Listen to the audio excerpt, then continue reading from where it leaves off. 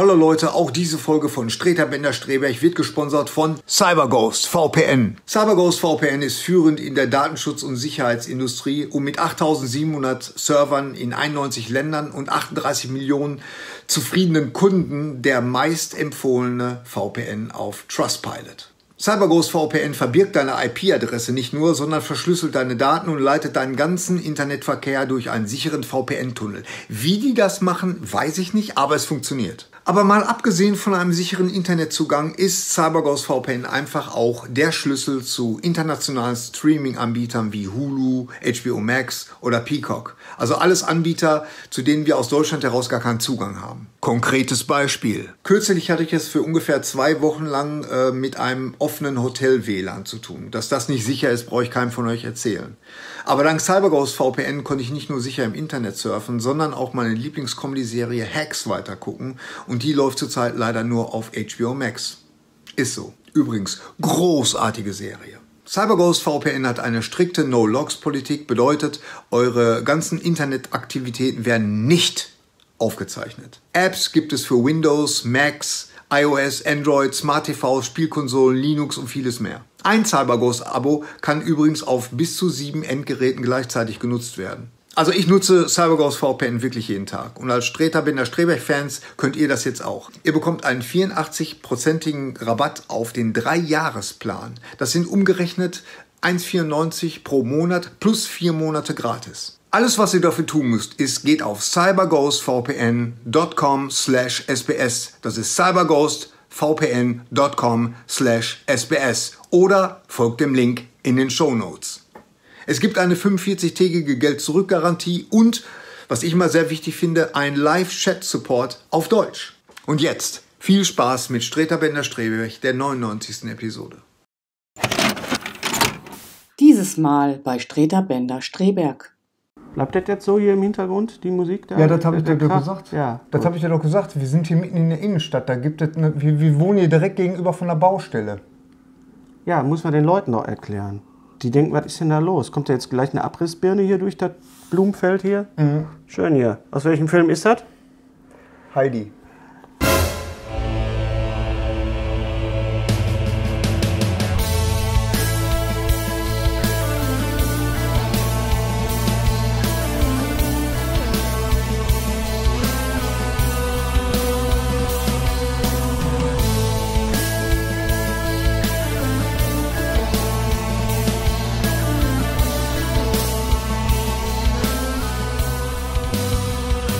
Jetzt Streiter Bender Streberg, der Podcast.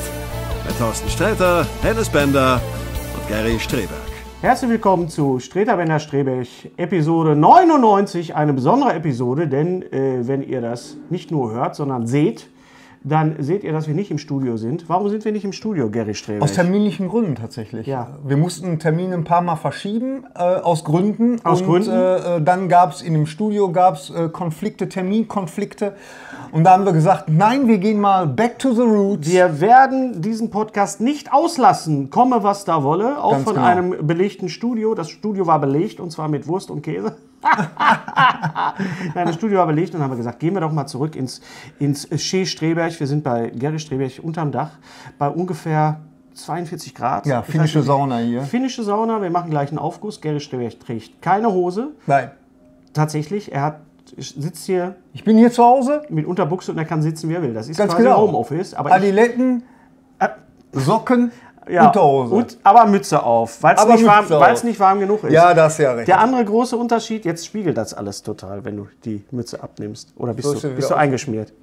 Äh, der andere äh, große Unterschied ist natürlich, dass wir jemanden hier schmerzlich vermissen, nämlich äh, Thorsten Sträter. Thorsten Sträter lässt sich entschuldigen. Er hat jemanden dafür, der ihn entschuldigt. Äh, Soweit ist er schon. Ja. Äh, er ist krank. Er hat tatsächlich keine Stimme. Ja. Und hat auch Auftritte absagen müssen. Das ist dann doof, wenn Thorsten. Und das ist doof und deswegen werden wir beide die ganze Zeit so- reden wie so Thorsten sprechen. Sträter. Damit Thorsten wenigstens im Geiste. Im Geiste. bei- Aber im Geiste ist er ja immer dabei. Ja, ja. Er ist wirklich so mittler, er ist ja so präsent. So präsent. Immanent. Dass er selbst wenn er nicht da ist, ist er ist er präsent. da, ist er da. Ähm, das ist natürlich schade und äh, aber gute Besserung An dieser Stelle. an dieser Stelle auch Und von uns. toi, toi, toi. Und toi, toi, toi.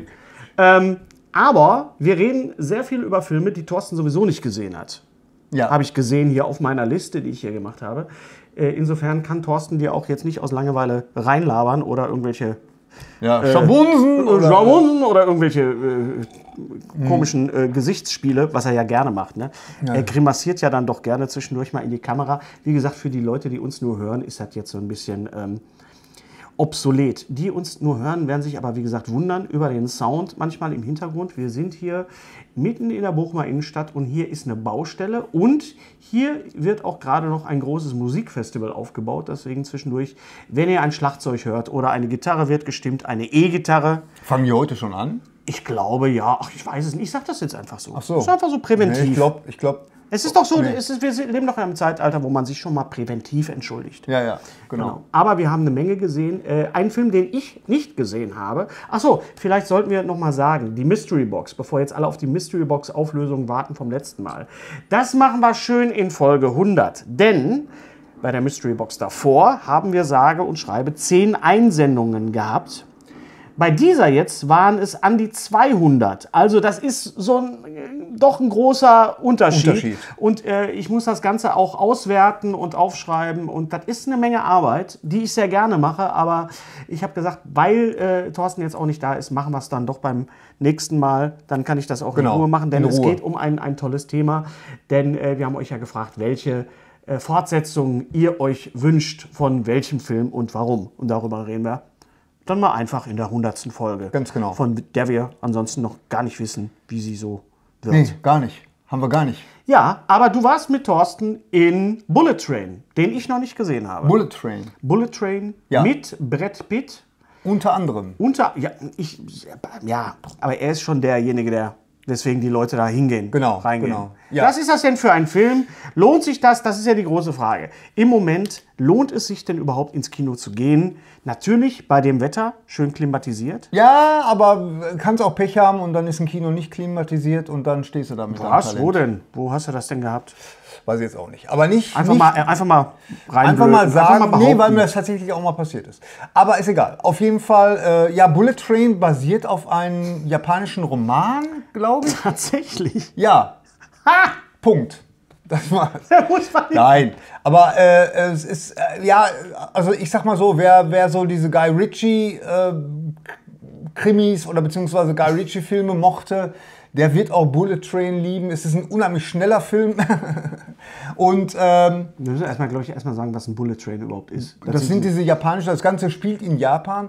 Und Bullet Train, das sind halt diese Hochgeschwindigkeitszüge. Genau. Und ähm, es, äh, also die Handlung ist schnell erklärt. Äh, Es geht um einen Koffer, mal wieder. Es hätte auch um eine USB-Stick gehen können, aber da geht es jetzt um einen Koffer. ein typischer Ganz genau. Ein Ein typischer typischer. MacGuffin. Und Genau. alle, alle sind da hinterher und äh, eine, eine ganze Killerhorde, die unabhängig voneinander es alle auf Brad Pitt abgesehen haben. der Und diesen Koffer transportieren soll. Genau, abholen soll und äh, ja, alle, alle sind hinter dem gleichen her und der Film, ich muss ganz ehrlich sagen, ich bin da komplett, das war jetzt mal wieder so ein Film, wo ich mal wirklich komplett ohne irgendwelche Erwartungen reingegangen bin und wir sind sowas von überrascht worden. Wir haben so gelacht. Das war unglaublich. Also die, äh, der ist unheimlich schnell getaktet, der Film, ist ja, ist ja ganz klar. Bullet hat, Train. Hat das ja auch zum Thema. Aber ich finde das so toll, auch äh, Brad Pitt zwischendurch mal wirklich in so lustigen Rollen zu sehen, weil der hat echt komisches Talent, muss man einfach sagen. Und dann auch seine ganzen Co-Stars, also die Namen sind mir jetzt nicht alle präsent, aber man kennt sie alle. Da ist einer aus Atlanta, dann, äh, Ja, ja. Äh, ja also ähm, die Charaktere sind super und, und die optischen Einfälle sind super. Für mich ist das, hat das fast die gleiche Qualität erreicht wie bei Everything Everywhere All at Once. Oh, das ist ja hohes Lob. Ja, also Ja. Was, was die Kreativität anging von, von Dings. Äh, Und äh, es ist ein totaler, ja, wirklich Film, wo du dir ähm, deine, deine ganze, alles vorne abgeben kannst äh, und dich einfach nur beschallen lassen kannst für, für diese gewisse Zeit. Die vorne ab. Ja, so dein Anspruch, verstehst du? Ach so. Ich möchte jetzt, was es ist jetzt nicht äh, ein Fremder im Zug oder oder oder äh, die Frau, die versch, ne, wie hieß er noch, der Hitchcock-Film? Verstehst du? Es ist jetzt kein Eine Dame ausgetüft, verschwindet. eine Dame verschwindet. Es ist kein ausgetüftelter Thriller. Es ist so ein Hau drauf Film, aber das ultra kreativ. Es ist ein No-Brainer. Ja, würde ich sagen, ja, ein absoluter No-Brainer. Also den, den guckst du dir an und äh, bist total entzückt, dass du mit niedrigen Ansprüchen reingegangen bist und doch mehr gekriegt hast, als du erwartet hast. Naja, also diese, ich jedenfalls. diese Filme haben wir ja ähm, jetzt in der letzten Zeit sehr, sehr oft gehabt. Ich sage nur Red Notice, ich sage äh, auch, ähm, äh, wie hieß er, The Grey Man, den ich nicht zu Ende geguckt habe, muss ich sagen, auf Netflix. Ryan Gosling und, und Chris Evans und Anna de Armas, Mhm. der neue Film der Russo-Brüder. Ähm, ich war dann einfach nicht mehr so interessiert, aber es ist dann doch immer was anderes, im Kino zu sitzen und sich dem einfach so hinzugeben, diesen Film dann aber ausgeliefert zu sein. Das ist es das. Äh, Ich meine nicht nur, dass der Cast unheimlich gut ist, sondern ähm, der ist unheimlich kreativ. Der ist wirklich super, super lustig und die Einfälle da drin sind einfach unglaublich. Und was ich noch toll fand, ist, äh, da sind super Cameo-Rollen äh, gesetzt, Gastauftritte. Gastauftritte und die sind so speziell, Okay. dass, dass das jedes Mal, oh, damit habe ich aber nicht gerechnet. Also, Also ich weiß jetzt, du hast mich jetzt ein bisschen neugierig gemacht, aber Ja, ich weiß nicht, ob ich den Film jetzt unbedingt im Kino sehen muss. Aber vielleicht sehe ich ihn mir dann an, wenn er rauskommt. Aber dass du, dass du, äh, dass du äh, verwundert bist, dass Brad Pitt auch lustige Rollen spielen kann. Nein, nicht wirklich verwundert. Ich freue mich einfach Ich sag nur. einfach nur ihr, äh, Burn After Reading oder auch äh, ja, ja, Snatch und so diese Sachen. Also der hat ein, äh, Brad Pitt definitiv ein sehr komisches Talent auch. Also im Grunde stimmt. Wenn ich jetzt länger drüber nachdenke, es macht er eigentlich fast mehr komische Rollen als selbst in Once Upon a Time in, in Hollywood ja, war war, er. hat auch das- sehr komisch. Ja, Ja, aber- aber hier- Wo Bruce Lee mal eben die Fresse poliert hat. Ja, okay. da muss dir doch als, als Bruce Lee-Fan dein Herz geblutet haben. Ja, ja, Herzgebüse ist einfach Schwachsinn. Aber, äh, ähm, aber Aufs Maul gekriegt hat. Es war ja nur ein Schauspieler. ja. Ja. Aber da hast du dich doch ein bisschen aufgeregt. Nee, ich wusste ja, dass diese Szene kommt und die ist ja, Ja. die ist ja total ähm, aus der Luft gegriffen. Also Bullet Train Ja. ist definitiv eine Empfehlung. ja, fand ich. Also, Empfehlung? wir hatten sehr viel Spaß gehabt. Viel Das Spaß ist sehr schön. Ähm, bevor wir auf die anderen Sachen kommen, äh, müssen wir mal drüber reden. Es sind doch sehr, sehr, sehr viele äh, berühmte Leute. Es sind sehr, sehr viele Leute auch abgetreten in der letzten Zeit. Äh, Ja, das kann man wohl sagen. Das kann man wirklich sagen. Und wir können jetzt natürlich nicht, nicht jeden erwähnen oder jene erwähnen, weil das ist natürlich, würde diesen Rahmen spenden. Wir sind ja auch kein Nachruf-Podcast. Aber wir müssen doch mal über Wolfgang Petersen sprechen. Ja, natürlich. Lieber Gary, Ja. Wolfgang Petersen. Ähm, ich habe, als ich äh, dann mal so die Filmografie von Wolfgang Petersen mir durchgeguckt habe, doch gesehen, dass ich ein paar Filme gar nicht auf dem Schirm hatte, beziehungsweise gar nicht gesehen habe. Hm. Ja. Wir alle haben das Boot gesehen damals Nee, im Kino. Ich habe nie gesehen. Bitte? Ich habe bis heute nicht das Boot Das war's gesehen. von uns, vielen Dank. Wir warten so lange, bis Gary das Boot gesehen hat. Das Boot nicht im Nee, Kino komischerweise. Ich habe so viel Ausschnitte und so viel über diesen Film gesehen, dass ich, dass ich das Gefühl habe, ich hätte den gesehen. Also Das heißt, ich du weiß hast auch die, die, die Fernsehserie nicht gesehen, die Nee. ja. Aber als Bochumer war das doch Pflicht. Man musste doch, weil Grönemeyer mitgespielt hat und Ralf Richter Robert- und, und, und Claude Oliver, und Claude Und Oliver, Claude- ja. Oliver Rudolph, Code oder Claude, Claude Oliver Rudolph und Martin May und äh, Jan Wedder und Heinz Hönig und, und die alle Prochnow. Ich habe ihn nie in der Oh. vollen Länge gesehen. Ich habe ihn wirklich damals im Kino gesehen und äh, weil es war natürlich ein großes Thema damals in den Medien und ähm, äh, ich fand, fand das schon sehr beeindruckend. ein großartiger Das ist Film. ein toller Film. Also du gerade als äh, Fan von, von Filmen, die jetzt so mit Wasser zu tun haben. Ja. Äh, was hat denn das Boot, kleine Quizfrage, was hat denn das Boot mit Indiana Jones zu tun? Die haben, äh, Peterson hat äh, damals, beziehungsweise Spielberg hat sich damals das, äh, das Boot, also das Modell von dem Boot äh, ausgeliehen für äh, Raiders of the Lost Ark. Genau, für die Szene. Das, Boot, Genau. das U-Boot, was man da sieht, ist das Boot aus. Aus das, Das Boot. Boot, genau. Ja. Äh, auf jeden Fall ein Film, der Ich war auch in dem Boot schon. Ich war In im München? Bavaria Studio Okay. und und äh, also wie gesagt, also das ist das ist einer von diesen Filmen auch jahrelang äh, 2001 habe ich nie gesehen Ja. bis vor kurzem und hat totalen Spaß gehabt. Darf ich mal kurz Cross-Promotion machen? Ich habe ja, äh, oder beziehungsweise wir äh, arbeiten ja auch äh, mit äh, John Sinclair, also mit, mit der Marke John Sinclair zusammen, der John Sinclair Night Talk, den ich ja äh, moderieren darf. Und Gary steht hinter der Kamera, ist, ist das Kamerakind. Und es gibt eine sehr, sehr schöne Folge mit Martin May. Der äh, in das Boot mitgespielt hat. Das war seine erste Rolle, seine erste Filmrolle.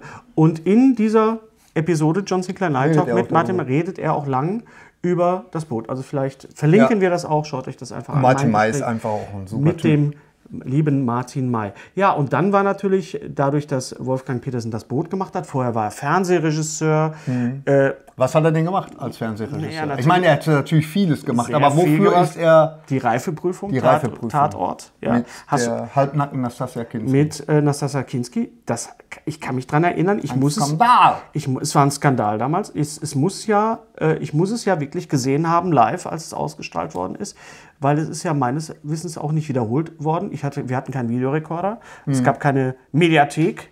Ich habe das damals gesehen Mhm. Ich habe den auch live gesehen. mit äh, Christian Quadflieg und ja. Klaus Wildborn. Damals hat man sich aber auch immer zum Tatort wirklich versammelt. Also Ja, das war, das natürlich. war eine feste, ein fester Termin, den man hatte. Ähm, Sonntagsabends, Tatortzeit. ja, Viertel neun, wie man in Süddeutschland sagt, also Viertel nach acht. Tatort. Da Genau. war, und das hat äh, Wolfgang Petersen gedreht, äh, die Reifeprüfung, ein, ein äh, Tatort, der Aufsehen äh, erregt hat, natürlich wegen Nastaska Kinski, weil sie da Ja, ja, auch wegen dem Thema. Das, Das Thema, Thema war ja wirklich, äh, äh, also ein Lehrer fängt was mit einer Schülerin an und ähm, Das war nicht ohne, ja. das war nicht ohne und das hat Nastasia Kinski komplett nach vorne gepusht ähm, als, ja, als Schauspielerin, Als und, ja. äh, und Wolfgang Petersen, ja, also der, den hat man dann. Hat der danach dann direkt das Boot gedreht? Nee, nee, der hat noch ein paar andere Sachen gemacht, äh, aber das Boot war dann sein erster äh, großer, richtig großer Film, der ja natürlich auch international äh, Wellen, Der war auch für den Wellen äh, Ja, ich glaube, er war sogar auch für einen Oscar nominiert. Und er hat natürlich auch Wellen geschlagen. Das Boot hat Wellen geschlagen. Und dann ähm, kam Amerika und sagte, klopf, klopf, Herr Petersen, wollen Sie nicht mal? Mhm.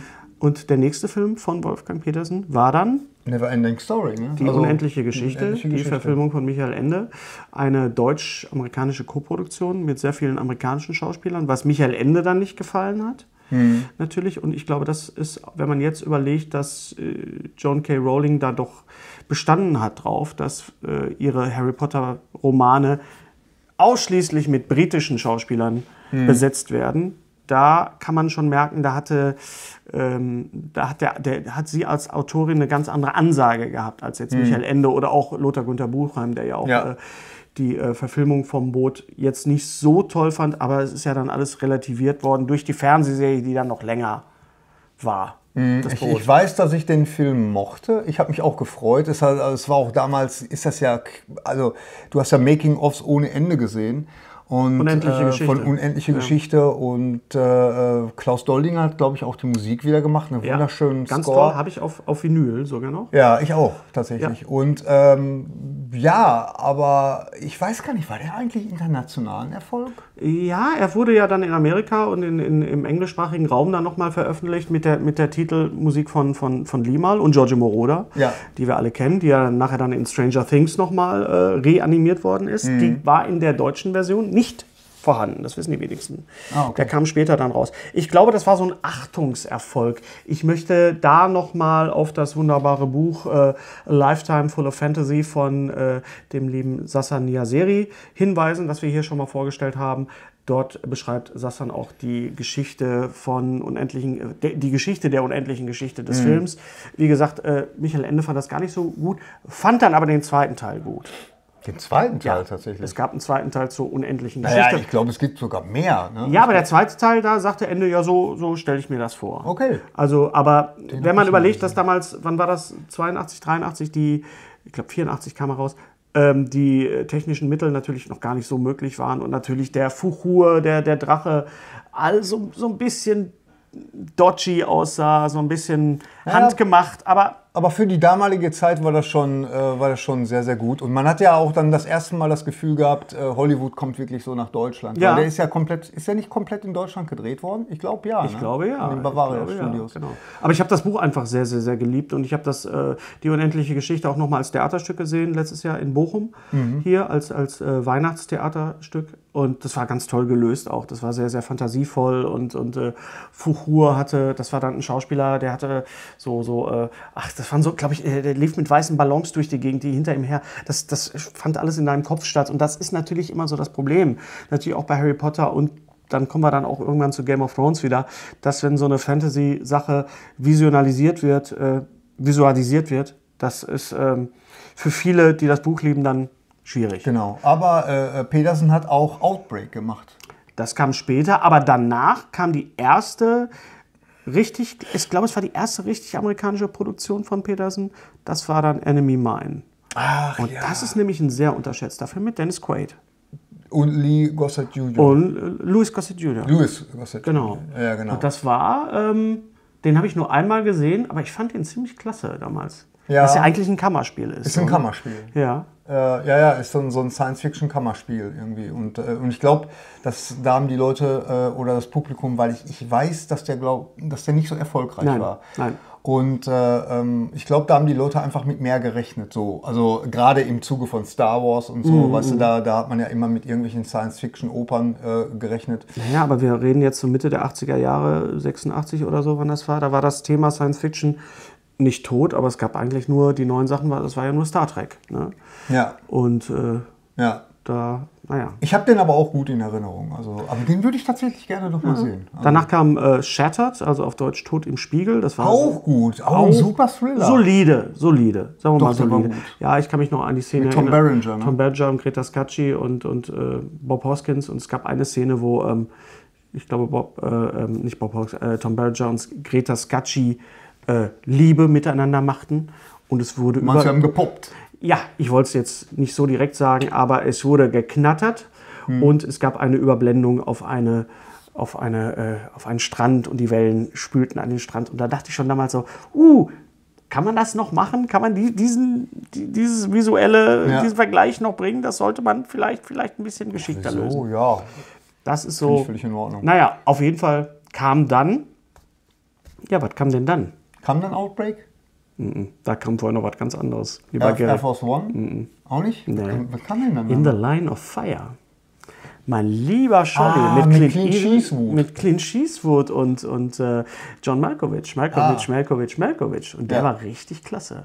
Der war gut. Der war toll. Das war ein ganz toller Film. Mann, Mann, Mann. Ja, Echt? ja. Dann kam Outbreak.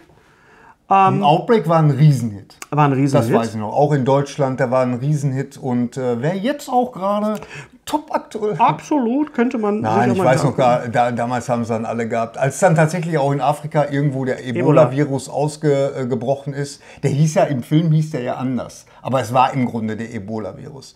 Ich glaube, das heißt auch Ebola. Ja, Ebola. Entschuldigung, ja, das- völlig ich du kann weißt, nicht- was ich ertrage es nicht, wenn einer- Scheißegal. Ja. Ja, und Hast du äh, recht. äh, auf jeden Fall hatten sie da alle. Ich weiß noch, dass sie der Michael Ballhaus, der hat ja damals die Kamera Ja. gemacht, dass sie ihn sogar interviewt haben. Herr Ballhaus, für wie wahrscheinlich halten Sie es, dass der Ebola-Virus oder der Ebola-Virus, wie Hennes Binder sagen würde, äh, ausbrechen würde? Ja, jetzt wollen wir mal die Kirche im Dorf lassen und hier nicht so eine Panik machen. Also es hat dem, dem Michael Ballhaus, äh, diesem, diesem äh, wunderbaren Kameramann, dem Gentleman, Der äh, Grand Seigneur des muss man der- wirklich der sagen. Kamera, ja. äh, der, dieser ganze Hype, dem hat das überhaupt nicht gefallen. Aber, äh, aber der Film, der war sehr, sehr spannend. Mit Dustin Hoffmann, Lee Gossett Jr. fällt mir gerade ein. Kevin äh, Spacey war dabei. Kevin ähm, Spacey äh, war dabei. Dustin Hoffmann, hast du schon gesagt? ja, was habe ich gesagt? Doch, doch, ich glaube, Dustin Hoffmann. Ja, Dustin- das haben Dustin wir. Super Hoffmann, spannend. Renny Russo. Toller Äh, Actionfilm, toller, toller Film. danach kam schon Air Force One. Ja, mit Genau. Harrison Ford. als, das war, ich war, kann mich noch an die Werbung erinnern. Harrison Ford ist der amerikanische Präsident. Und ich so, nein. er, er spielt ihn, aber er ist es nicht. Ja, ja, also, das finde ich soll auch immer- schon genau ich sein.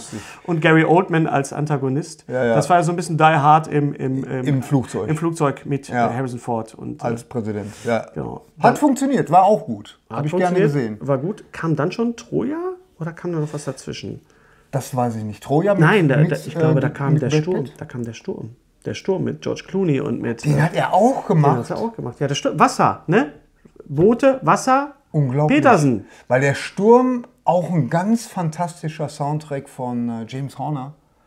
Ähm, ganz, ganz toll. Und, und der Film ist, naja, ist kein Feel-Good-Film, Nein, kann man nicht so sagen. kann man nicht so sagen, aber es ist trotzdem unheimlich toll gemachter Film. Stimmt. Also es ist jetzt, ich habe jetzt auch gerade dieses, dieses Gefühl, Mensch, das hat er alles gemacht.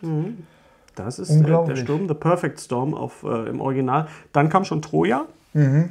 Den einz- habe ich nie gesehen. der, einzige, der einzige Film, in dem Brad Pitt nicht von Tobias Meister, sondern von Martin Kessler synchronisiert wird. Von unserer Station Voice, von unserer Stimme. Interessant. Äh, ich glaube, das hat Martin auch erzählt in dem Interview, als wir bei ihm waren in Berlin. Das könnt ihr auch nochmal sehen. Ähm, das war, war, war glaube ich, äh, Petersen selbst, der gesagt hat, nee, ich möchte nicht, dass Tobias Meister das macht, sondern dass Okay. Martin Kessler das macht. Und ich glaube, Martin selber hat gesagt, ja, aber Tobias Meister ist die Stimme. Wenn die Leute ja. jemand anders hören, ist das, sind sie so ein bisschen raus aus dem Thema. Ja, Troja war ein bisschen, äh, ich sag mal so, überambitioniert. Hm. Natürlich, klar, diese griechische Sa- Sage und da gibt es dich natürlich äh, auf, auf, auf episches Gebiet im wahrsten Sinne des Wortes. Was kam denn dann danach? Danach kam tatsächlich ähm, Poseidon. Das Poseidon-Entfernung, das Remake. Das Remake von Poseidon. Ja. Entfernung. The Poseidon Adventure, wie es ja hieß. Adventure. Genau, mit Leslie Nielsen als, als Kapitän. Das sollte man auch nie machen. Man sollte nie Leslie Nielsen als Steuer lassen. Steuer lassen. Weder am, am Flugzeug noch beim Dings. Ja, das, ich, ich bin ein großer Fan von dem Original. Ja, das Original Mit ist Gene, einer, mit Gene Hackman einer und, und, und Shelley Winters. Shelley Winters, und auch. ist einer der Katastrophenfilme. Filme. Ja, ja, ja, ja. Das war ja damals auch so ein, so ein Genre, der Katastrophenfilm. So, Der Katastrophenfilm der Woche. Und danach kam, ich habe ihn nicht gesehen, den, den, das Remake von, von Peterson Poseidon. Das ist ja mit Kurt Ja, Russell. der, der ist in Ordnung, aber er kommt. Ich finde, der hat nicht den Charme des Originals. Okay. Ja. Ähm, und dann, das ist, glaube ich, auch der letzte Film, den äh, Peterson gemacht hat, ist äh, Vier gegen die Bank. Ein Remake seines eigenen Films aus den 70er Jahren. Äh, und das ist dann wieder ein Film, der ihn dann, und da schließt sich dann doch so ein bisschen auch der Kreis für ihn, äh, den er in Deutschland gedreht hat mit Till Schweiger, äh, Schweighöfer, Liefers und Buddy Herbig. Das ist so eine Bank-Heist-Komödie. So, ein- genau. Hat nicht gesehen, leider. Ja.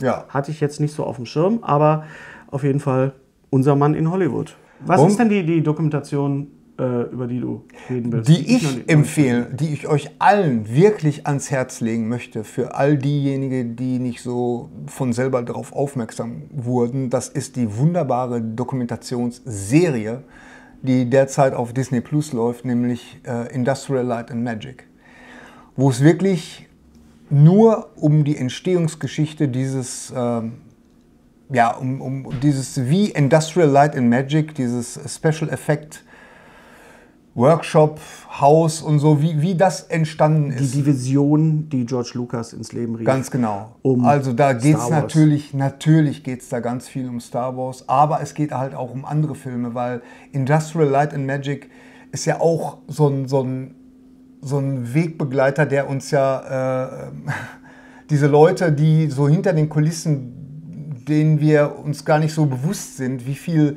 Leute da so hinter den Kulissen ähm, mit dabei waren, die uns ja wirklich damals so oft und auch bis heute so tolle Sachen präsentieren irgendwie und, und so viele Special Effects möglich machen, ob das jetzt Jurassic Park ist, ob das Star Wars ist, ob das Willow ist, ob das Young Sherlock Holmes ist. Terminator also die, die 2. Terminator 2, die Liste ist endlos und das das Tolle an dieser Dokumentation Ich glaube, sie ist nicht endlos, aber sie ist sehr lang. Sie ist ultra lang.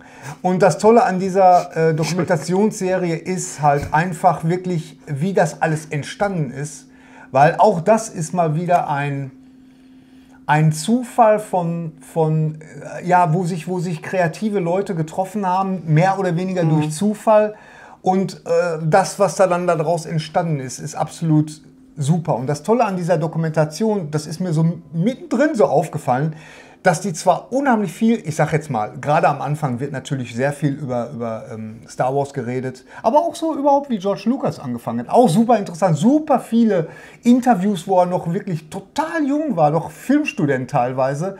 Ähm, und äh, Wie kann man denn teilweise Filmstudent sein? Der Arm war ja, Filmstudent. es war dann, es war dann äh, äh, halt diese, diese ganzen Abschnitte irgendwie. Ne? Ja. Das, der Junge, du siehst den jungen Francis Ford Coppola, du, sie, du siehst diese Ah! ganze, du siehst diese ganze Gang, so die Coppola, Spielberg, Lucas, Scorsese. De, Scorsese, De Palma. De Palma gehörte auch dazu, Ja. ganz genau. Ganz genau. Und ähm, wie, wie das entstanden ist und das Tolle finde ich, äh, es kommt nicht ein Schauspieler zu Wort.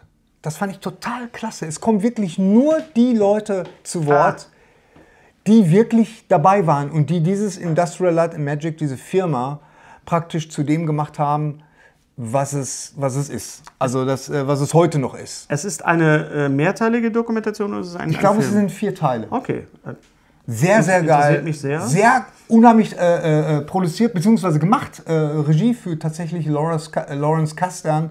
Und das ist ja. Nein, echt? Ja. Himself? Yes. Oh, nice. Yes. Yes. And the rest of this podcast is in English Yes. from now on. Yes, this. please, from now so, uh, this documentary you can recommend.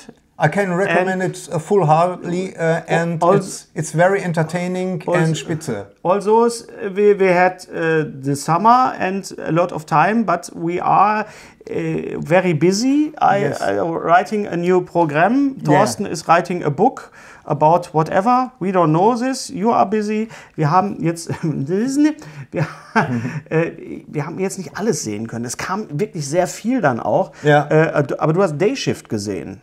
Dayshift auf Netflix. Ja. Ja. Ja, das war ja natürlich, das ist ja einfach, das wird dir ja vieles dargereicht im, im Fernsehen. Und ich habe Ja, aber auch Dayshift da wieder, gesehen. du entscheidest dich, okay, ich schaue mir jetzt nicht das Boot an, sondern äh, Dayshift. Das stimmt. Ne? Gut. Also ich hatte äh, an diesem Sonntag hatte ich totalen Bock gehabt, wirklich so, ein- so ein No-Brainer. Sonntag. So ein No-Brainer zu sehen. Ähm, es gab ja damals schon vor Jahren diesen John Carpenter-Film Vampires mit äh, James Wood als Vampirjäger in L.A. Kannst du dich daran noch erinnern? Der war, also ich fand den nicht so Nein, gut. Das weiß ich nicht. Ich dachte jetzt, du redest gerade von Vampires in Brooklyn, aber das war ja Wes Craven. Das war äh, und Eddie Murphy. Eddie Murphy. Ja. Nee, äh, ich meine Vampires heißt der mit James Wood, wo James äh, Woods. Ist, ist, James Woods. Im Grunde ist es ja fast der gleiche Film, nur halt mit. Woods übrigens mit zwei O und D und S, nicht mit W, U, T, TZ. Z. Ne? Das wäre ja das Urmel. Ja, das wäre der Urmel James Woods. Urmeli! Ja. Frau Und was, was mag ich jetzt zu diesem Film sagen? Er ist, ja, er ist unterhaltsam, aber es ist wieder so, so ein typischer Netflix-Film, der, ja, man kann sich angucken, man ist hinterher froh, dafür nicht ins Kino gegangen zu sein. Das ist, Und- das ist eine Ja, Einschätzung. äh, das, das- ist eine Einschätzung für einen Film. Ja, das man- ist Kacke. Ja, das, das sag ja. ich, da bin ich der Erste, der das zugibt. Ne? äh, Und äh, ja, aber mehr ist es nicht. Es ist halt ein Film, mit, mit, wo, wo alle Vampire so merkwürdigen Kampfstil gehabt haben, nämlich dieses, dieses, kann ich gar nicht. Ne? Das sind alles, kann ich gar nicht erzählen. Das sind alles Akrobaten. Alles ich Akrobaten. ein kurzes Making-of gesehen. Das sind alles Akrobaten, die ihre Körper unheimlich verbiegen können. Ja. Und das wird eingesetzt in dem Film. Das ist natürlich toll. Ne? Naja, Aber für die ersten fünf Minuten, die aber, ersten- aber naja. dann irgendwie denkst du, es gibt, auch wie jeder von diesen Netflix-Filmen, gibt es auch da gute Momente, aber sonst ist das wirklich komplett an den Haaren herbeigezogen. Ja, es ist, würde es das Bali-Kino noch geben, wäre das ein typischer Bali-Kino-Film. schön. Ja, würde es so, ein Ja. Grindhouse-Dings geben, Ja. wäre es das. Und dann, äh, als das wäre es dann auch in Ordnung. Okay. Aber du kannst jetzt nicht sagen, top, äh, guckt euch den an, sondern wie gesagt, man. Den kann man sich angucken. Ja, top. Guckt euch den an, weil er ist für Umme und er ist sowieso bei Nein, er Netflix. Nein, nein, nein, er kostet Geld. Du zahlst für Netflix. Deswegen kostet dieser Film Geld. Macht nicht diesen Fehler. Das machen viele. Ja, ist doch umsonst. Nein, ihr zahlt dafür. Ihr zahlt für Streamingdienste. Und ihr zahlt auch für Dayshift. So. Und auf Netflix laufen auch andere Sachen. Wenn Ja, du aber ich sagst, zahle auch für äh, Better Call Saul und dann ist Ja, halt. äh, ist auch nicht für Umme. Dayshift. Nee, Ja. Dayshift ist dann halt so, dass das, ja, den kriegst du noch mit dazu. Ja, aber es ist deine Lebenszeit, Gary. Und Ja. wir, sind, wir sind beide Mitte 50, Ende 50. Ja. Wir haben nicht mehr so viel Zeit. Nee. Und deswegen sag einfach, So like nein, is App. the lag is app. guckt euch Dayshift nicht an. Fertig. Wenn ihr was anderes machen könnt. Nein, nein, guckt euch was anderes an. Wenn ihr, Ja, wenn ihr euch zum Beispiel das Boot. zum Beispiel das Boot. Warum denn nicht? Warum denn nicht? Warum denn nicht? Weil er So. wahrscheinlich nicht auf Netflix läuft. Apropos absolute, äh, absoluter Unsinn, absoluter Quatsch. She-Hulk habe Ja. ich gesehen. Die erste Folge. Ich auch. Okay, reden wir mal über She-Hulk. Ja, die erste Folge war ja wohl wirklich der Trailer, nur jetzt ein bisschen länger. Ja, Ne? ja, und das ist ein Problem der Trailer-Geschichten, äh, Ja. Dass man, äh, wie gesagt, unser lieber Freund Kai Crick, äh, Kai Crick, Kai Crick. Kai Crick äh, sagt, äh, er guckt sich keine äh, Trailer mehr an von Filmen oder Serien, von denen er weiß, dass er, sie, er. dass er sich sowieso anguckt. Seine Disziplin hätte ich gerne. Und wir reden natürlich auch über diese Marvel-Müdigkeit, die wir haben und über die Superhelden-Müdigkeit und über die, auch über die Fantasy-Müdigkeit, die wir natürlich haben, jetzt im Angesicht von, von äh, House of Dragons und vom Herr der Ringe. Fandst du She-Hulk, äh, fandst du den lustig? fand weil, das er- super lustig. Ich fand das super was lustig. findest du daran lustig? Weil es ist, äh, die Umsetzung der Comics ist. Die Comics sind genau so. Ja gut, jetzt musst du aber davon ausgehen, dass die meisten Ja. Leute, wie ich zum Beispiel, ich bin die meisten Leute, ähm, dass die denn, dass die She-Hulk. Wir sind mal ganz überheblich. Ich bin die meisten Leute. Gary Streberg. ja, ich sehe mich schon so als Durchschnitt, muss ich sagen. Und ich habe halt, ich kenne She-Hulk nur aus, aus höchstens mal ein Titelbild oder so von, von einem Comic, aber ich kenne die inhaltliche überhaupt nicht. Ich weiß Das auch ist genau nicht. das. Ist genau das. Die vierte Wand wird gebrochen. Sie, auch in den Comics spricht sie immer mit den Lesern. Ja. Und es ist einfach eine, eine, eine lustige, äh, ja, was heißt Selbstverarschung quasi auf, auf, auf Superhelden. Selbstreferenziell natürlich. Brauchen wir das? Ähm, nee, auch da wieder brauchen wir nicht. Aber ähm, fuck, sie sieht total toll aus als, als She-Hulk. Erstmal ist die Schauspielerin super. Äh, Ja, ich komme ich, ich habe sehr, sehr, sehr, also die, die ganzen Effekte und so. Alleine wenn Hulk durch so ein, so ein, da sind wir wieder bei so technischen Sachen. Wenn Hulk durch so ein Buch durchblättert, du denkst so, ah, wie haben die das gemacht? Das finde ich so interessant, dass das dann auch noch gut aussieht. Auch da müssen wir natürlich jetzt erstmal warten, wie die Serie sich entwickelt, ob die Serie sich überhaupt entwickelt. Das hatten wir auch bei Moon Knight und bei Miss Marvel. Das fing unheimlich toll an und wurde dann eher so, mm, na, Faserig. Faserig, genau. Aber ähm, ich bin jetzt erstmal guter Dinge, was She-Hulk angeht. Vor allen Dingen freue ich mich natürlich über alles, worauf sich so, worüber sich so alte weiße Cis-Männer aufregen. Äh, ich habe wieder eine Frau, die Männer verkloppt und die besser ist als Männer. Ja, es ist nun mal so. Männer, wir müssen uns dran gewöhnen. Frauen sind die besseren Männer. Es ist so. Sie kriegen mehr auf die Kette und darum geht es ja auch in dieser Serie. Ja. Und äh, so eine Folge ist 30 Minuten lang. Muss man, Kann- muss man jetzt nicht einen ganzen Abend für mal. Das ist, Opfern, okay. Ja, das ist jetzt nämlich der Unterschied zu sowas wie Day Shift oder wie The Grey Man. Hm. Weißt du, was mache ich an dem Abend? Ich habe wirklich nach, nach Red Notice gedacht, so, okay, was, da, mein, zwei Stunden meines Lebens sind jetzt weg. Ja. Wer, wer, wer gibt mir das wieder? Niemand. Ja, aber äh, die Frage ist doch, Hennes, Gary. Die Frage ist doch, haben solche Filme denn, äh, weil wir, wir machen die immer so klein, aber haben die, haben die keine Daseinsberechtigung, auch einfach mal so Berieselungsfilme? Wenn sie gut gemacht sind, habe ich damit kein Problem. Naja, du kannst jetzt nicht sagen, dass Red Notice nicht gut gemacht Doch, ist. kann ich sagen. ist ein doofer Film. Ein doofer Äh. Film, weil dir die, weil dir die Handlung, weil dir die Figuren nicht gefallen haben. Wenn die- Ich Weil, mein, weil das wenn- ist ja dein Zugang da. Wir wollen mal ganz ehrlich sein. Äh, Stuntmäßig und actionmäßig Ja. können die ja schon was. Ja, aber, das nichts- reicht halt nicht Ja, aus. aber nichts, was ich nicht schon hundertmal gesehen habe. Erstmal das. das. Ich meine, was ist denn das Alleinstellungsmerkmal der, der, der Fast and Furious Filme? Jetzt sag nicht, wir sind eine Familie, sondern es sind Autos durch, durch Hochhäuser, Autos in Space. übertriebene, äh, übertriebene Sachen ja. und, und äh, das haben sie da nicht geschafft. Und tut mir leid, eine Chemie zwischen Ryan Reynolds, äh, Dwayne Johnson und, und Gal Gadot habe ich jetzt nicht so empfunden. Nö, habe ich auch nicht. Ne? Und Nee. das, ist eben, das ist eben schade dann halt. Ne? Ja.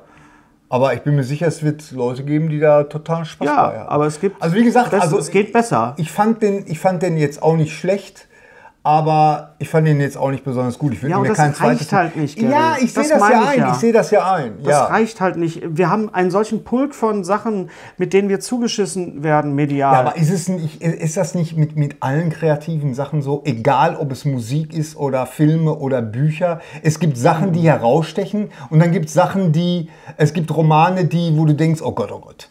Der Grund, warum diese Filme gemacht werden, so Filme wie Red Notice oder ich, ich tue jetzt The Grey Man auch mal einfach in den Topf oder Fast and Furious Ja. und auch sowas wie Cobra 11 ist Was? Einschaltquote, Geld, wie viele Leute gehen da rein. Da Ja. geht es nicht um, da geht es auch um Qualität, natürlich. Also wär's, Absolut. Wär's, wenn, wenn, die, Nee, nee. Also wenn, komm. die, wenn die Fast and Furious Filme scheiße gewesen wären, wäre es keine Serie geworden. Sind wir auch mal ehrlich. Aber es ist irgendwann mal ist es eine Franchise und irgendwann mal ist es eine Gelddruckmaschine und den Leuten ist es egal, was sie sehen. Und es ist so, weißt du, dann guck dir mal zwischendurch mal wieder so einen David Lynch-Film an und dann siehst du, oh, vielleicht sollte ich doch mit meinem Leben was anderes machen, wenn meine Lebenszeit anders ist. Ich weiß nicht. Also ich bin da, ich bin da so zwiegespalten, weil äh, ich habe mich, ähm, ich freue mich auch auf den nächsten Fast and Furious. Ob, äh, auch wenn mir der letzte gar nicht gefallen hat. So viel dazu. Äh, Prey. Wir reden über Prey. Also ich würde gerne über Prey reden, wenn Ja, Gary Prey. nicht gerade eingeschlafen wäre. Prey, Prey. das war eine Vorlage. Das war eine Du Vorlage. Übernehm, ich gebe dir was vor. Ja, ja, ich überlege ich Prey überleg ja auf, wie, ich, wie ich jetzt. Äh, auf Disney Plus, Ja. Prey, ein weiterer Predator-Film. nicht Predator, wie wir ja früher immer gesagt haben. Früher Ja. haben wir ja immer Predator gesagt, aber es heißt Predator, weil Predator-Film. der Begriff Predator im ersten Predator überhaupt nicht vorkommt. Nee, natürlich nicht. Niemand kommt sagt- der überhaupt irgendwo vor? Ich glaube, der kommt in keinem Film vor, Stimmt, jetzt wo du es sagst. Jetzt wo du es sagst. Aber wir haben das natürlich damals gelesen und gesagt, ja, Predator. Ja, ja. Nee, nee, Predator. Ja, Predator. Ja, also, Ja.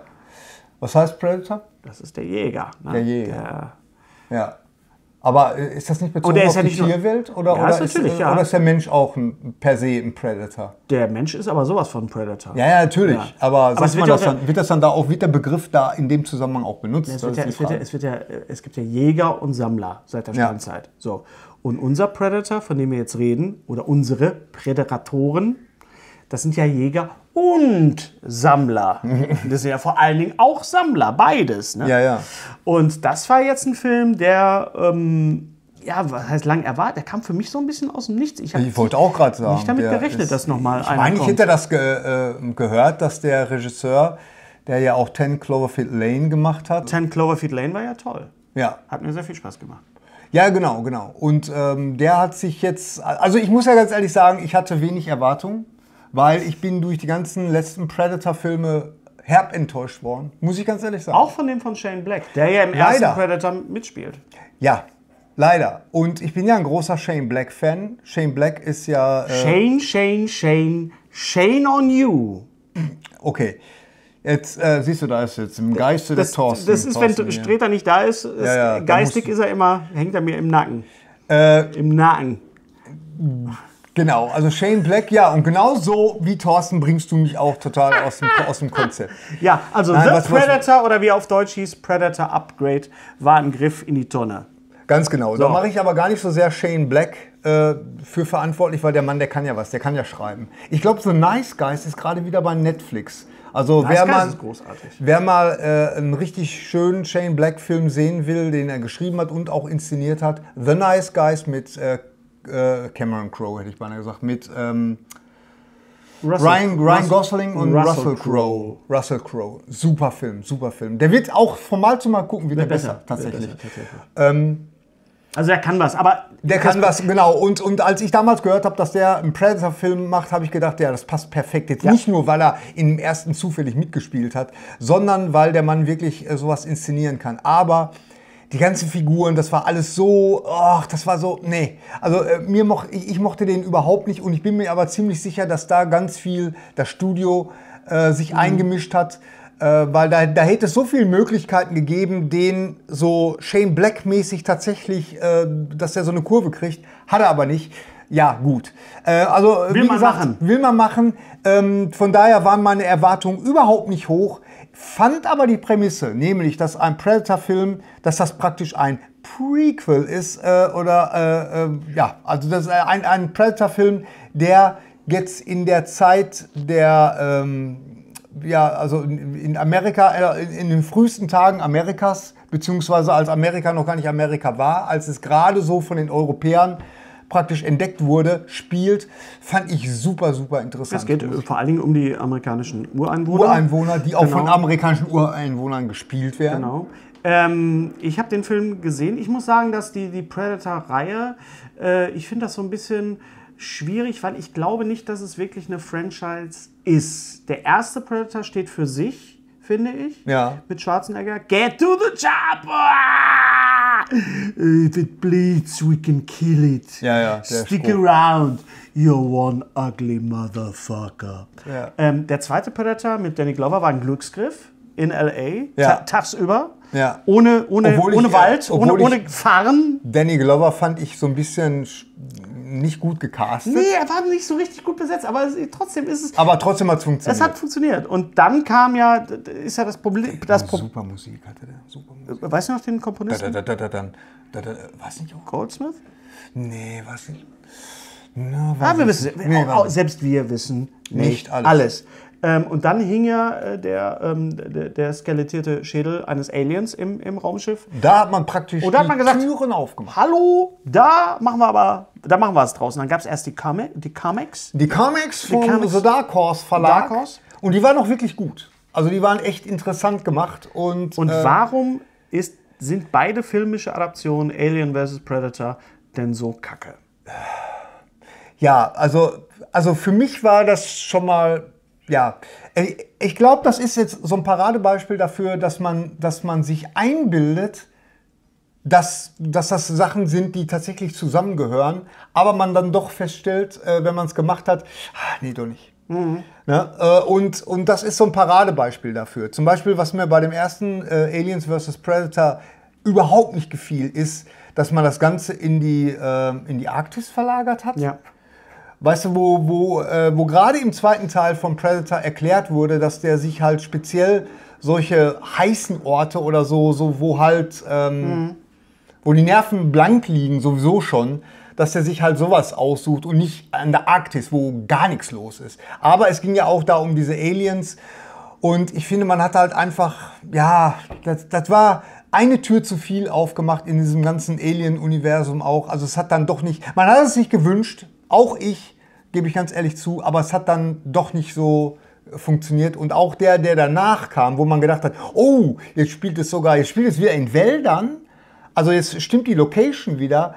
Und äh, es kommt jetzt wirklich so, äh, spielt so in so Örtchen, so in Amerika, in Ohio wahrscheinlich irgendwo. So ein bisschen diese Slasher-Geschichte. Diese, so dieses urbane, jetzt kommt jetzt dazu. Halloween ne? und, genau, und, genau. und, und Friday the 13th. Und auch So das hat leider nicht, nicht funktioniert. Naja, es reicht halt manchmal nicht, wenn man einfach nur das Setting nimmt. Du brauchst ja nicht nur das Setting. Und das, Nein. das finde ich, macht Prey jetzt ja genau richtig. Äh, nicht nur das Setting, also die, die, die Wälder und, und die Steppen, sondern auch die Zeit ist richtig. Es Ja. wird ja auch nicht nur die Geschichte des, des, des Predators oder des Zusammentreffens erzählt, sondern auch äh, die Geschichte dieser äh, indigenen, äh, dieses indigenen Volkes, der, der amerikanischen Ureinwohner. Da auch wieder eine Frau als Hauptrolle. Das Ja. hat natürlich auch wieder sehr viele alte weiße Männer aufgeregt, natürlich ganz klar. Wenn man sich jetzt mal, vor allen Dingen mal, wenn wir mal über die Rezeption jetzt reden von Prey, weil er wird ja relativ schlecht besprochen im Internet. Ja, Ja, merkwürdig von, von, ähm, von Rezensenten keine und, und äh, äh,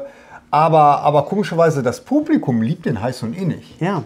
Und ist das es, siehst ist du auch denn, in den Kommentaren. Ist es denn eine Mode? Ist es denn eine Mode, sowas von vornherein scheiße zu finden, nur weil es so PC ist oder so, so äh, äh, im, im, im, im Nein, ich glaube, ich, ich glaub, es ging äh, bei, dieser, bei dieser Kritik ging es gar nicht darum. Ich glaube, es ging vielen Leuten auch einfach darum, dass der halt nicht so teuer aussah. Ne? Da die, die Tiere waren alle komplett CGI. Ja. Und ich, ich finde, es ist wirklich so ein Low-Budget.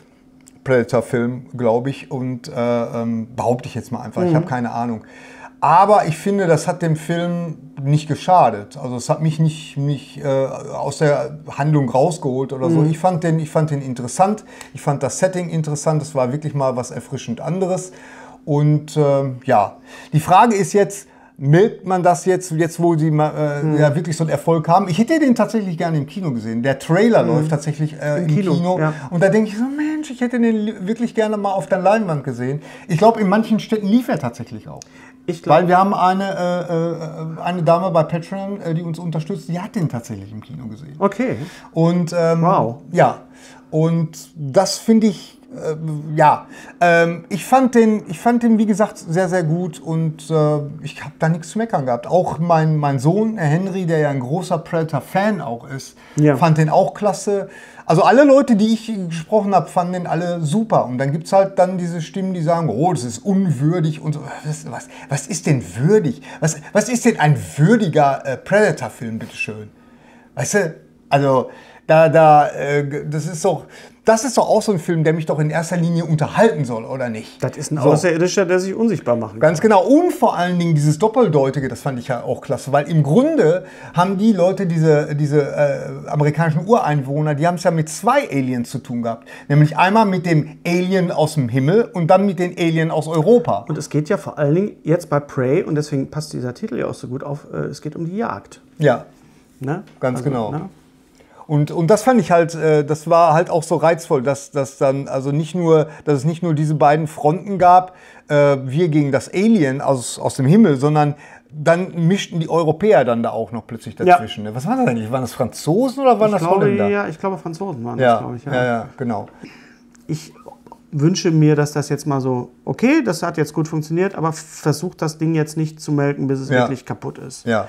Vielleicht, Also- vielleicht fällt in zehn Jahren oder in fünf Jahren jemandem eine tolle Sache ein, Predator im Supermarkt kann. Es gab ja schon so viel. Ja, ja. Nee, in der Jetztzeit. Also für mich LA. ist er vom Ranking her ist er wirklich, ich finde immer noch den ersten am besten. Ja. Ich, danach kommt für mich auch tatsächlich der zweite, weil, weil bei der Ja. Fortsetzung habe ich auch das Gefühl gehabt, dass er konse konsequent weitergedacht wurde. So, weil ne, aus dem, du kommst aus dem Dschungel in den urbanen Dschungel und dann noch LA bei der Affenhitze, dass der sich da, der Predator sich da wohlfühlt, konnte ich total nachvollziehen. Mhm. Das war, also es passte alles.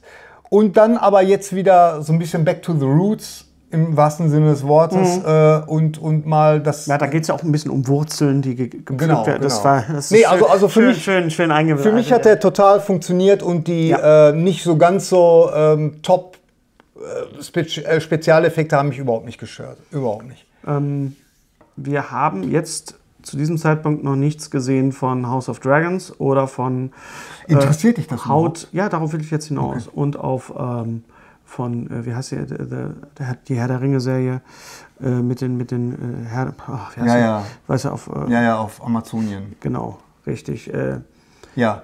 da, Ist die auch schon raus? Nein. Die kommt bald. Okay. Ja, ja. Ähm, da sind wir wieder beim Thema Fantasy und da kommen wir gleich zu einer anderen Serie, nämlich zu The Sandman, die ja im weitesten Sinne auch Fantasy ist. Ja. Comicvorlage von Neil Gaiman. Äh, ich habe die Comics gelesen. Vielen Dank an meinen Freund Markus, der mir sie alle nochmal geliehen hat vor zwei Jahren. Denn ich habe das Hörspiel gehört, dass man, ich glaube, es war ein BBC-Hörspiel oder von Audible, ich weiß nicht genau, sehr hochkarätig besetzt. Die englische Version mit James McAvoy und äh, Michael Sheen und, und allen möglichen äh, Leuten. Es gibt eine deutsche Version, wo äh, der Sandman, glaube ich, sogar wirklich von David Nathan auch gesprochen wird. Äh, die Hörspielversion und jetzt natürlich lang erwartet die Verfilmung auf Netflix, bei der Neil Gaiman ja auch die Finger im Spiel hatte. Ähnlich, glaube ich, auch wie bei American Gods, die ja ein bisschen abgekackt ist, die Serie American Gods. Ich habe sie, ich hab sie angefangen, fand sie auch am Anfang ganz gut. Ja. Und, und, äh, aber dann wurde mir das mit dieser ganzen Mystik, ähm, obwohl ich ja per se eigentlich ein Fan davon bin, aber da- das wurde mir dann alles so ein bisschen zu viel. Und hier bei Sandman hatte ich auch, also ich kenne die Comics nicht. Ich bin da wirklich, äh, ähm, also mit, mit, mit Clean Slate äh, rangegangen. Fand ihn Kannst du gut. Clean Slate mal, da bin selbst ich als Anglist jetzt ein bisschen überfragt. Also, Ja, mit so, mit so einem ähm, reinen, ähm, also ohne, ohne irgendwelche Erwartungen. ohne, ohne Vorkenntnisse. Vorkenntnisse, dieses- genau. also wirklich, äh, ähm, ja, bin ich so rangegangen. Fand das alles sehr behäbig und ich hatte dann schon befürchtet, oh Gott, das geht genau in so eine Richtung, bis mir dann, äh, bis du mich dann da darauf aufmerksam gemacht dass, äh, dass bei beiden American Gods und Sandman ja Neil Gaiman dahinter steckt, da habe ich so gedacht, ja gut, macht der, äh, ist jetzt wirklich eine, eine, eine Frage an dich, macht der eigentlich noch was anderes, außer diese, diese elaborierten, äh, mystischen Geschichten erzählen? Ja, Gibt, macht der auch ein Krimi Die- oder, oder nee, das nicht. Aber die Mystik und so, das ist immer Thema bei, bei, Bei. Gaiman. Das Okay. ist auch bei, bei, bei Ich finde den Typen ja per se interessant. Star, Neil Gaiman ist, hat auch ein ganz tolles Buch über das Schreiben geschrieben, also Ja. Mit mehreren Essays äh, über das Schreiben. Äh, sollte jeder Kreative und jeder Kreati jede Kreative Ja. auch mal gelesen haben. Äh, ich glaube, Notizen aus der letzten Reihe heißt das. Ähm, äh, Coraline ist von ihm. Dann ist noch, Ah, ja, äh, ja, ja, dann ist noch von ihm. Von ist, Tim ist, Burton, äh, Stop Motion, ne? Nein, ist nicht Tim Burton. Ah ja, aber Nein, trotzdem es ist Stop Motion, ja, ja. Ähm, und es, äh, Stardust ist auch von ihm. Also Okay. die, die, äh, Also- die nicht, nicht der David Bowie Biopic, über den wir nicht reden müssen, der Kacke war, sondern dieser Film mit Claire Danes und mit Robert Okay. Mhm, De Niro, dieser Fantasy-Film. 2007 war das, glaube ich. Also mir hat dann Sandman doch gut gefallen und äh, wieder war es mein Sohn, der mir gesagt hat, ähm, bleib dran, da gibt's, da kommen ein paar richtig, richtig tolle Folgen und ich bin dann auch dran geblieben und ja, das war dann auch so. Also ich bin wirklich entlohnt worden und da, da gab es wirklich ganz fantastisch, äh, fantastische Folgen, die ich auch sehr philosophisch fand und sehr Ja, toll einfach. Also das war, das hat mir dann schon sehr gut gefallen. Also Sandman ist eigentlich doch, äh, kann ich einen Daumen nach oben geben, hat mir sehr gut gefallen. Es ist ein bisschen Weil- Fantasy für Fortgeschrittene auch. Ja, das, das musst du jetzt beurteilen, weil, Ja. weil äh, du die Comics ja auch Also alle, äh, alle meine Freunde, die, äh, die auch Sandman sehr gut kennen und natürlich auch sehr, sehr erwartungsvoll jetzt waren, die halt hohe Ansprüche hatten an das Ding, sind eigentlich alle, alle sehr, sehr, sehr happy damit. Okay. Äh, es war am Anfang ein bisschen schwierig mit dem Bildformat. Das hat sich ja, glaube ich, jetzt mittlerweile auch geklärt, weil es ja alles so ein bisschen gestaucht aussah,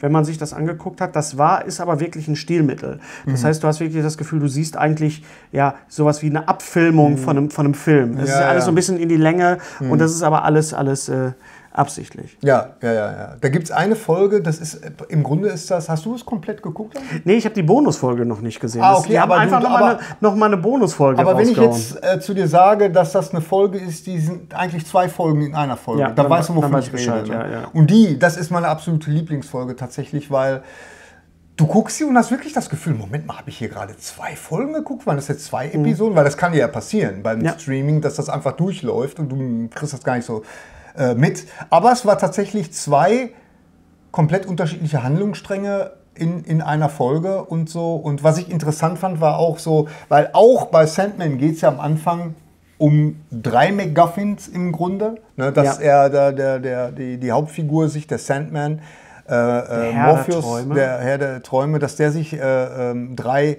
äh, Items sozusagen wieder zurückholen muss. Aber das ist ja eigentlich relativ drei. Teile. Drei, Teile. Hör mal, pass auf, ich suche drei Teile. Okay, machen wir eine Serie. Einmal hier raus. den Dant, den Helm und Und das noch. Ja, Na, gucken und dann wir noch was anderes. Nee, aber äh, das war ja schnell abgefrühstückt, irgendwie. relativ. Also da, ich habe gedacht darüber, das wäre jetzt die Horizontale von der Serie, dass sich das jetzt wirklich so über die ganze Serie hinstreckt. Aber das war es gar nicht. Das war eigentlich relativ zügig. Es gibt dann noch eine Folge, die ist so ein, so ein, so ein bisschen, könnte man sagen, eine Bottleneck-Folge. Eine Bottle-Folge. Bottleneck-Folge. Bottleneck-Folge? Ja, ja. sicher? Haben wir, Bottle- ja. haben wir das nicht schon geklärt? dass Ja, das heißt Bottle- Bottleneck-Folge. Okay, gut. Und äh, äh, die ist ja auch ziemlich heftig. Ja. Also die, äh, vor allen Dingen, das ist auch so eine, so eine Ausreißerfolge, weil, weil die ist ja so ganz anders, weil, Ja. ne, also da, wie, wie gesagt, weil die eigentlich sich praktisch auf, ein, auf eine Location konzentriert und das aus gutem Grund. Ähm, ja, also äh, ja, Sandman wie gesagt, ich bin nicht der größte Fan von dieser, von dieser ganzen Mythologie und, und hier der Tod und du bist jetzt meine Schwester äh, Desire und oder, oder was auch immer. Aber äh, es hat mich letztendlich doch, die Schauspieler und, und das ganze, die ganze In, äh, Inszenierung hat mir dann doch so gut gefallen und hat mich überzeugt, dass ich dann dran geblieben bin. Sind Comics schwieriger zu verfilmen als Romanvorlagen? Weil Comics ja Was quasi vorgeben. schon das Visuelle vorgeben. Ich spiele jetzt natürlich vor allen Dingen auf Watchmen an, Zack Snyder, was ja nichts anderes war als eine Abfilmung der Storyboards. Watchmen ist ja quasi Ja. schon ein Storyboard an sich, das Buch. Naja, ja, also äh, ich, ich glaube schon, dass es, dass es, also wenn das solche ikonischen Vorlagen sind, dann glaube ich schon, dass es äh, ein Problem ist oder dass der Filmemacher, der, da das dann inszeniert und, und äh, die ganzen Leute, die mit ihren verschiedenen Gewerken dahinter stecken, dass die dann schon bemüht sind, diesen Look und dieses, dieses Gefühl ähm, wirklich rüberzubringen. So, ne? Na, na, na, na, na, na, na, na, na, na, you got the look. Kommen wir nun. Ich wollte das jetzt einfach mal so zu Ende bringen, aber ich dachte so, wie? Ja. Dann sagtest du the look und dann Ja. rein assoziativ. Weißt du, weißt du, wie mir das jetzt gerade so vorkam? Nicht das kam mir jetzt so vor, wie, wie äh, damals so in diesen Warner Brothers Cartoons. So, weißt du, wenn, wenn ein, einer einfach so eine, so eine Wand aufgemalt hat und dann war da, dann war da tatsächlich auch eine Steinwand, wo der Roadrunner äh, beziehungsweise Karl, ja. Karl der Coyote reingerannt ist. Übrigens, wolltest du nicht auch immer, dass Karl der Coyote auch mal gewinnt? Immer, immer. Ich wollte auch immer, dass Tom gewinnt und nicht Jerry immer. Ja. Ich möchte einmal mal erleben, dass er diesen verdammten fucking Vogel mal gewinnt. Ein Scheißvogel. Echt. Der, Ich hasse ihn. ja, ich auch. Willy Coyote. Aber das ist ja dann immer in diesen Filmen, die es dann gibt, sei es jetzt Tom und Jerry und ich bin mir sicher, es gibt auch irgendwo einen, hast du den Rocky und Bullwinkel Film mal gesehen? Wir haben mal drüber gesprochen. mit Robert De mit Niro. Robert De Niro und Jason Alexander. Nee, nee, oh nee. mein Gott. Ich habe Rocky und Bullwinkel damals in Amerika äh, gesehen zum ersten Mal, so im Frühstücksfernsehen. Weißt du, dass ich die Platten davon habe? Ich habe da Echt? Hörspielplatten drüber. Wow. Über diese ganzen Trickfilmzeit mit Adelheid. Zwei Stück. Mr. Magoo ist dabei? Ah. drauf. Da waren die dabei, ja. Rocky und Bullwinkel waren dabei. Äh, der Mountie war dabei. Mhm. Äh, Mr. Magoo war natürlich auch dabei. Von dem es auch eher eine Verfilmung gibt mit Mit Leslie, Leslie mit Nielsen. Leslie Nielsen. Okay, ähm, Ja, Bevor wir zum dem Film kommen, auf den wir uns lange, lange gefreut haben, den wir beide auch gesehen haben und den wir uns zum Schluss aufgespart haben, müssen wir über das Finale von Better Call Saul reden. ja, So, oh mein Gott. ja. Oder? Ja, Gibt es eine bessere Fernsehserie zu unserer Lebzeit als Better Call Saul? Vielleicht, ja, mir fällt nur gerade keine ein. ja also Ist Better Call Saul besser als Breaking Bad? ich weiß nicht, ob es besser ist. Das, äh, soweit würde ich. Sollte man diese Frage überhaupt stellen? Nein, Weil beides hängt ja. zusammen. Ohne Breaking Bad kein Better Call Saul. Ja, ja, ja, ganz genau. Aber wir haben mit Better Call Saul, sorry Gary, dass ich meine ganzen Fragen jetzt gerade selber beantworte, aber ich bin so emotional gerade, weil wann gab es das schon mal, dass, eine, dass wir eine Serie bekommen haben, die gleichzeitig Prequel und Sequel Ja, war das ist- zur das besten Serie ist- aller Zeiten. Das ist wirklich ein Meisterstück. Das ist wirklich ein. Und vor allen Dingen ist es so intelligent gemacht. Weil wir haben ja, das habe ich dir ja gesagt oder, oder ich habe es dem Henry erzählt, die allererste Szene von Better Call Saul ist ja in Schwarz-Weiß und wir sehen, was aus Saul Goodman, beziehungsweise müssen uns am Anfang noch so ein bisschen, kleine Häppchen kriegen wir hingestreut, kleine Häppchen an Informationen. Wir müssen uns das selber so ein bisschen ähm, zusammenbasteln. Ähm, ja, wir, wir sehen, was aus ihm geworden ist. Er lebt noch und es geht ihm offensichtlich ganz gut, dass er schon mal durchatmen. So, und dann geht es natürlich in der Serie. Ja, aber, aber du Ja, kriegst. so gut. Also Ja, aber du bist ja schon mal froh, dass er überhaupt di- diesen ganzen, das alles überlebt hat. Ja, während andere Leute da ja nicht so gut Ja, vergiss nicht, das letzte Mal, dass wir ihn gesehen haben, da hat er seine Koffer gepackt und hat sich von Walter White verabschiedet. Und dann war er weg. Gut gehen. Tschüss, ne, bis die Tage. Alles Gute auch. Ruf nicht an, ich auch nicht. Lass dich mal wieder blicken, aber nicht bei mir. Ja. Ähm, und allein die Tatsache, dass die Serie so anfängt mit der ersten Szene und wir die ganze Zeit denken, was ist denn da eigentlich? Ich habe wirklich bei der letzten Folge nochmal zurückgespult, also Netflix, und dann guckt, stimmt, es fängt genauso an. Und du fragst dich die ganze Zeit, was ist denn da los? Wieso habe ich denn dieses Schwarz-Weiß-Ding? Wieso macht er denn da diese, diese Zimtkringel da, diese Zimtschnecken? Was ist das denn? Was soll das denn?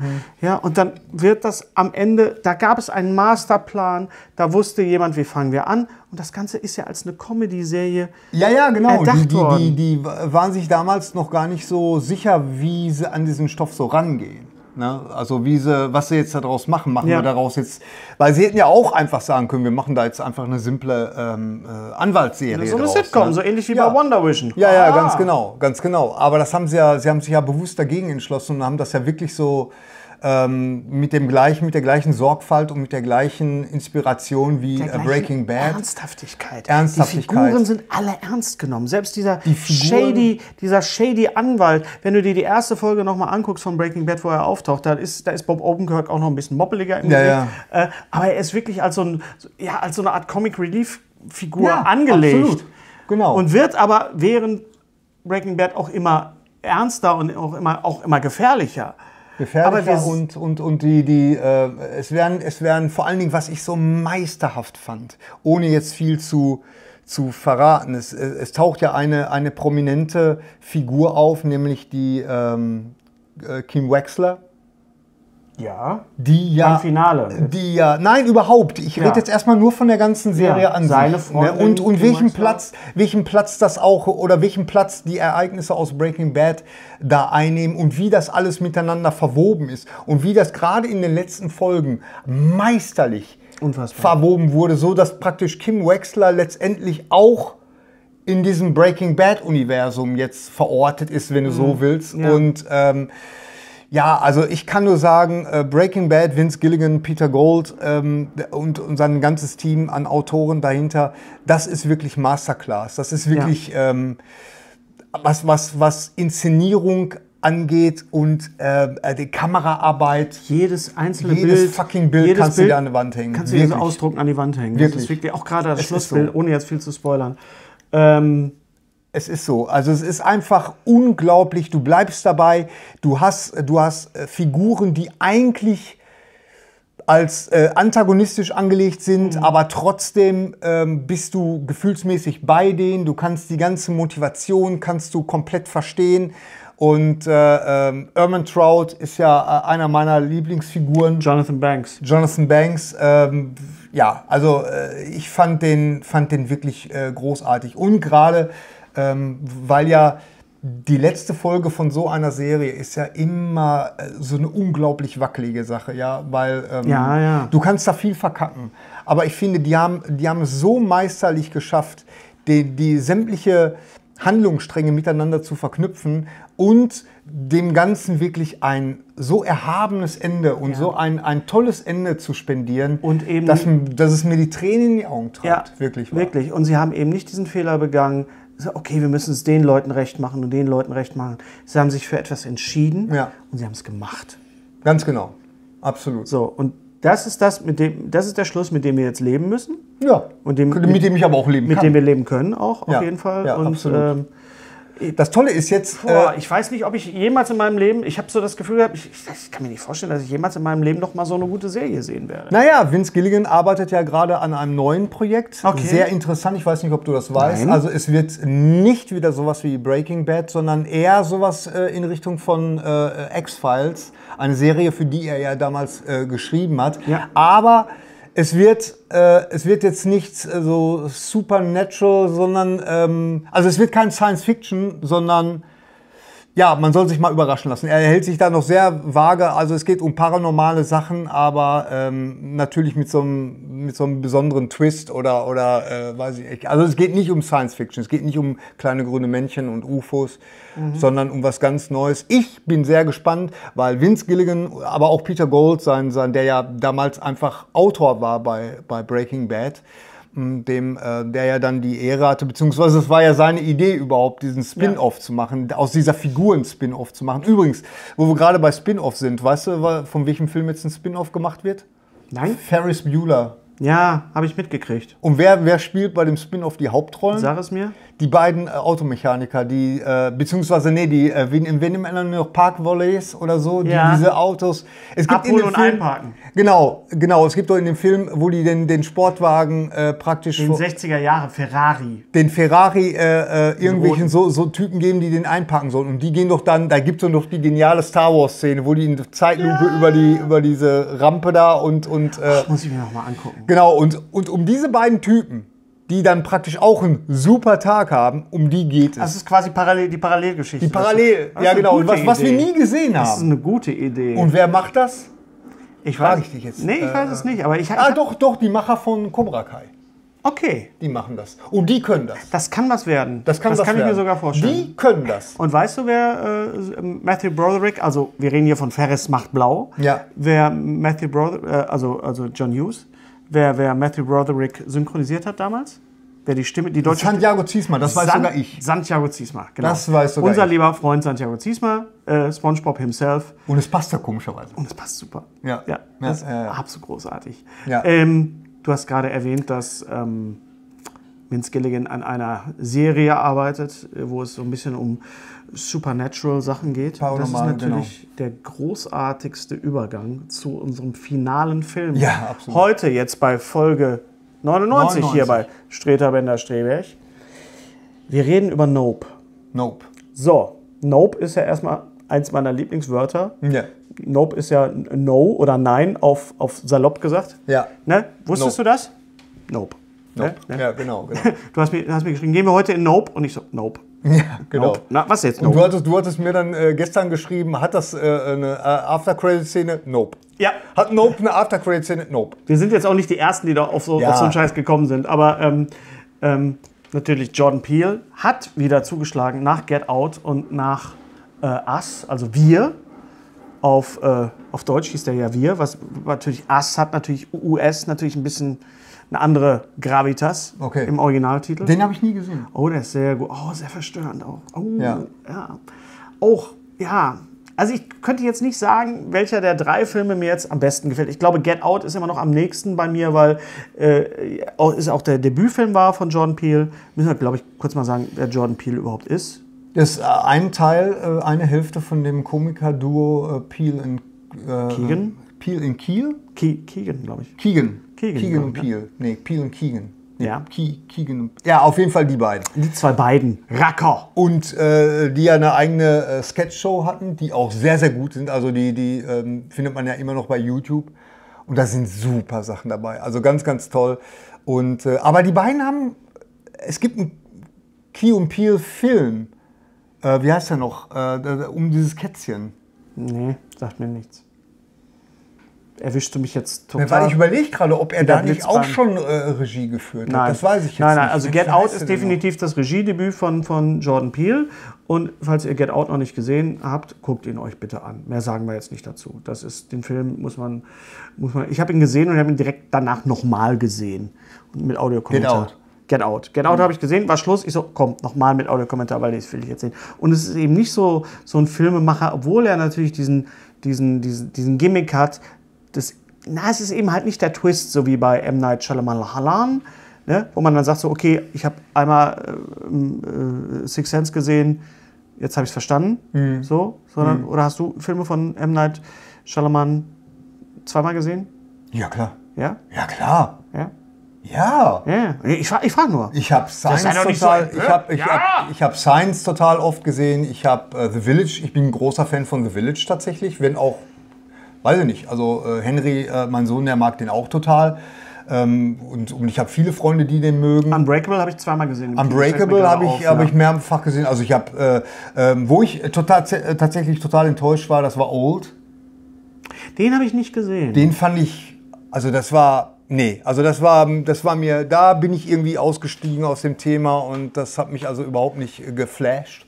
Aber, ähm, aber Nope, äh, ich, ich finde ja, äh, in, in Nope vereinigt sich ja einiges so. Ne? Ja. Natürlich das, das Spielberg-Kino ähm, der, der 80er, ähm, aber auch, ich, ich sehe da Naja, auch... nicht nur der 80er, das ist vor allen Dingen Der 90er, ja, ja, ja, Nein, ja. nein, nein, vor allen Dingen der 70er. Ich meine, Jaws äh, und, und äh, äh, Close Encounters. Close Encounters of the Third Kind ist, schwingt da so ja, aber mit. wir müssen, jetzt, wir müssen jetzt so ein bisschen spoilermäßig aufpassen. Wir wollen es den Leuten ja nicht Nein, aber dass der, dass der Film im, im, im, im Spirit äh, und, und so ein bisschen auch im Look Ja, äh, und, und der Technik von, von, von Spielberg ist, ist, ist, ist eindeutig. Darüber gibt's ja Das kein- ist eindeutig, ganz genau. Aber es ist halt ein Jordan Peele-Film und von daher ähm, macht er da ganz neue Türen auf und äh, versucht uns da ganz was Neues zu erzählen. Und das gelingt ihm auch. Ich habe den Film mittlerweile zweimal gesehen, tatsächlich. Ähm, weil ich, ich hatte ihn in der ersten, ähm, als erstes hatte ich ihn gesehen in der OV, ohne irgendwelche Untertitel. Der, ich musste den dann nochmal sehen, weil ich, ich verstehe zwar sehr, sehr gut Englisch, aber manchmal, wenn das so in Slang geht, habe ich meine Schwierigkeiten. Und dann, dann habe ich Schiss, beziehungsweise ich weiß, dass ich dann manchmal Kleinigkeiten, dass mir die entgehen und die aber durchaus wichtig sein können. Und so war es dann auch. Ich habe ihn jetzt das zweite nochmal in der OV gesehen, aber mit deutschen Untertiteln. Und das war genau richtig. Also das war, das war super. Und da sind mir tatsächlich äh, viele Sachen aufgefallen. Und das ist tatsächlich ein Film. Und jetzt weiß ich gar nicht, ob ich das gut oder schlecht finden soll, den man tatsächlich vielleicht erst in seiner Gänze begreift, wenn man ihn das zweite Mal gesehen hat. Weil man nämlich dann sehen kann, wie das Ganze schon aufgebaut ist. Ja. Und ähm, beziehungsweise wie das von Anfang an praktisch diese, diese Sachen, die sich in dem Film äh, abspielen, wie die am Anfang schon geplantet werden, also äh, wo da schon so praktisch die, die ersten, ja, wie sagt man? Geplantet. Geplantet. Nee, die werden gepflanzt, die werden Gepflanzt. gesetzt. Ja. gesetzt. Das sind ne? Kleine Setzlinge, die dann anfangen zu erblühen. Ja, ja. Auch beim zweiten Mal. Ähm, ich fand diese Spielberg-Vergleiche, er heißt übrigens Spielberg, ähm, nur nebenbei, ähm, sehr, sehr passend natürlich. Peel hat ja kein, kein Hehl draus gemacht. Ich fand aber auch, es hat ein bisschen was von, von äh, Cloverfield. Und es hat ein bisschen was, was jetzt diese, diese Verschachtelung der, der, ähm, der Handlung angeht, auch ein bisschen was von den Usual Suspects, oder? Weil du gerade sagst, ja, ich habe jetzt auch richtig Ja. Bock, nochmal den Film das zweite Mal zu sehen, denn es gibt etwas in dem Film, auch das ist ja mittlerweile bekannt im Internet und wird gerade analysiert ohne Ende, ähm, was eigentlich ja so richtig nicht was zu tun hat mit der, mit der eigentlichen Handlung. Ja? Naja, das ist dann halt, das ist dann halt äh, der ähm, Jordan Peels Art und Weise, wie der uns gewisse Themen, die so im Subtext mitschwimmen, und äh, ich, ich finde, er ist da schon vom, vom Niveau her sehr hoch. Also das sind manchmal so Sachen, wie du schon sagst, das sind so Sachen, haben die, pff, die haben doch eigentlich gar nichts miteinander zu tun und doch haben sie es. Ja. Und das, das fällt dir erst beim zweiten Mal auf. Ähm, und, und das, wie gesagt, also ich war beim, beim ersten Gucken, war ich so ein bisschen, ja. Du warst okay. ein bisschen, warst nicht ganz so begeistert, Ich war als, nicht als, ganz du mir, so begeistert. als wir telefoniert Dingen, haben. Vor allen Dingen, was ich überhaupt nicht mag, ist, wenn ich das Gefühl habe, dass ich, äh, das, das mag ein persönliches Ding sein bei mir, wenn ich das Gefühl habe, dass ich den Film nicht ganz begriffen habe und ich nach Hause gehen muss, YouTube anmachen muss und Mhm. zu gucken, The Ending of Nope Explained. Und es gibt tonnenweise Videos Das davon. stimmt, ja. Guck das übrigens bitte nicht, bevor ihr den Film seht. Nee, um Gottes Willen. Ganz, ganz wichtig. Mach das nicht. Ja. Es geht wirklich, es geht wirklich darum, äh, ähm, dass das, dann komme ich mir doof vor. Wenn ich, mit, wenn ich aus dem Kino komme und ich habe irgendwie das Gefühl, ich, ich bin doof, weil ich den Film jetzt nicht richtig begriffen habe, dann fühle ich mich, dann- also dann, dann ist das kein positives Kinoerlebnis für mich gewesen. Ah, Ich fand das immer total toll. Ich weiß noch, dass ich damals 96 in Berlin war, in einem kleinen Kino in Kreuzberg und wir haben mit Freunden zusammen The Usual Suspects gesehen. Brian Singer. Und wir haben nachher zusammengesessen und haben uns den Film nochmal erklär, erklärt Mhm. und dann sind wir alle drauf gekommen. So, ah, das ist aber was anderes, wenn du mit Freunden zusammensitzt und dich Das wollte ich gerade austauschst. sagen. Und so ein Film ist das aber. Ja, so ein Film genau. ist das aber. Seht weil? Ja. weil was, was total Spaß macht, ist, den dann tatsächlich hinterher auseinanderzunehmen mit Leuten, die den, weil der Jordan Peele, der, der gibt da so viel Interpretationsmöglichkeiten, verstehst du? Und, und du wirst immer jemanden finden, der irgendwas anderes da drin sieht, als, äh, als, dein, als, als du selber. Und das, das finde ich, das finde ich interessant. Das ist ein äh, interessanter Ansatz. Ich finde, es funktioniert nicht immer bei ihm. Bei Get Out hat es gut funktioniert. Bei Us kann ich, kann ich mir kein Urteil erlauben, habe ich nicht gesehen. Ich weiß aber, dass seine, seine Twilight Zone-Serie hat mich auch Twilight nicht Zone. so. Twilight Zone-Serie Zone. hat mich Twilight auch nicht so Zone. abgeholt, wie ich es mir erhofft hatte. Twilight Zone, sag doch mal. Mm, sag, ich mache jetzt, mal den- ich mach jetzt mal den Goldblum. Gary, Twilight, Twilight Zone. Twilight Zone. Äh, hat mich auch nicht so. Hast du die eigentlich gesehen? Ich bin ja neulich auch mal gefragt worden, angeschrieben worden, warum ich. Es ist ja ein Horrorfilm. Nope, kann man sagen, ist ein Horrorfilm? Was ist es? Es ist kein Science Fiction, es ist ein. Das ist aber auch kein Horrorfilm. Ah, ich fand schon. es, er hat Horrorelemente. Äh, Also äh, genau, das ist es ja. Das, äh, auch wie bei Spielberg und auch wie bei Shyamalan, Spielberg, ist von allem was dabei.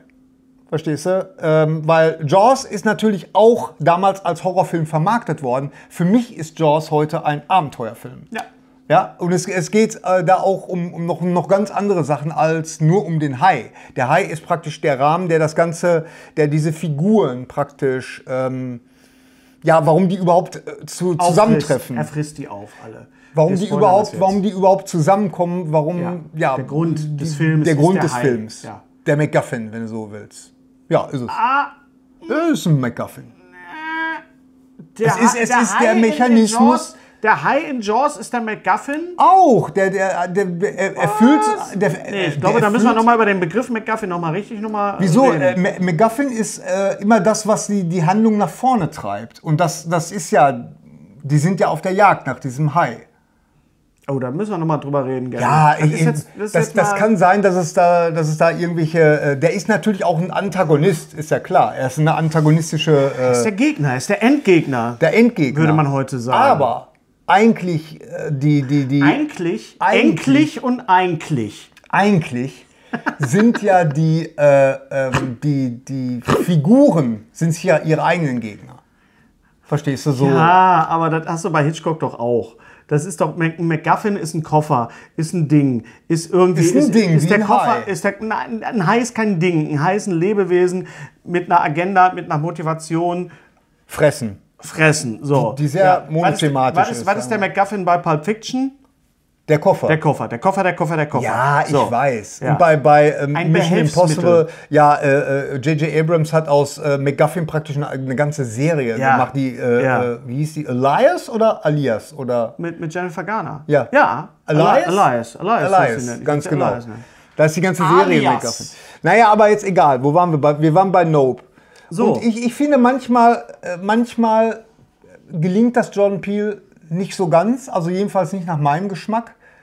Ähm, aber bei Nope ist es ihm gelungen. Also er hat mir tatsächlich, das ist jetzt so ein Film, der mir beim zweiten Mal gucken tatsächlich noch besser gefallen hat. Oh, das ist toll. Das Ja, nicht das ist dass toll. Das, das sind- ist, ja auch ein, das ist ja auch ein Film, den, den es so vor, in dem Sinne noch nicht gab. Es ist kein Sequel, es ist kein Superheldenfilm, es Das ist kein ist Dings und so weiter. gutes Und das muss man einfach mal auch mal einfach Und er ist originell. wertschätzen. Ist originell. Ähm, ich wollte noch eine Sache sagen, weil ich bin neulich von jemand von euch gefragt worden äh, per Mail, warum ich denn, wenn ich so ein Schisser bin, was Horror und äh, Filme angeht, Haie und Zombies und so weiter, warum ich denn äh, mit John Sinclair so viel mache. Weil das ist ja auch Horror. Es gibt einen großen Unterschied. John Sinclair ist Grusel. Ja? Das, ist, das ist nicht irgendwie Splatter und Gemetzel und irgendwie so. Äh! Ich mag das schon gerne auch, wenn ich gegruselt werde. Ich habe nur ein bisschen Problem mit grafischer Gewalt. Ja? Und diese psychologische, dieser psychologische Horror, der da drin ist in Nope, ja? der ist ja auch, der wird ja auch ganz gekonnt eingesetzt. Und wir alle kennen ja diese Momente, die Jumpscares, ja, den Moment, wo man im Kino sitzt und auf einmal passiert was, ah!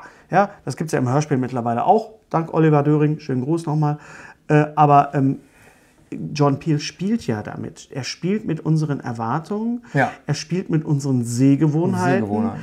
und er spielt auch mit unserem ähm, Wunsch nach Sensation. Und ich glaube, das ist ja dieser Subtext jetzt Ja. bei Nope. Ja. Ähm, wenn sowas passiert, wenn er jetzt so Sachen anreißt, die wir als Filmfans natürlich kennen und erwarten, und er bricht sie dann, fühlst du dich dann verarscht oder fühlst du dich herausgefordert? Ich fühle mich herausgefordert.